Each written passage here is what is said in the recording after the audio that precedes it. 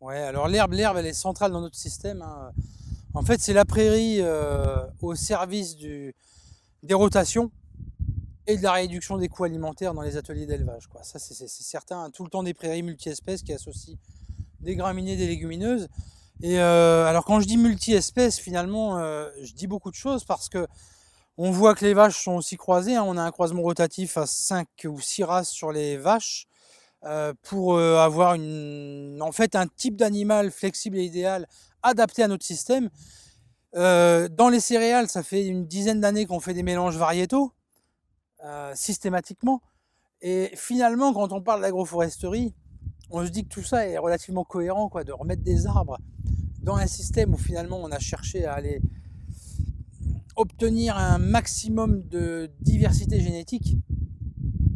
Voilà, l'agroforesterie dans, un système comme le nôtre, elle, prend pleinement son sens et sa place, quoi. Parce que euh, croisement de races au niveau des bovins, mélange multi-espèces au niveau des prairies, mélange variétaux au niveau des, des céréales ou euh, des grandes cultures. Donc après, euh, pourquoi pas mélange d'arbres et de cultures et mélange d'essence d'arbres à l'intérieur d'une même ligne. Quoi. Donc tout ça, pour moi, ça participe, cette diversité, elle participe aussi à, à la performance du système globalement.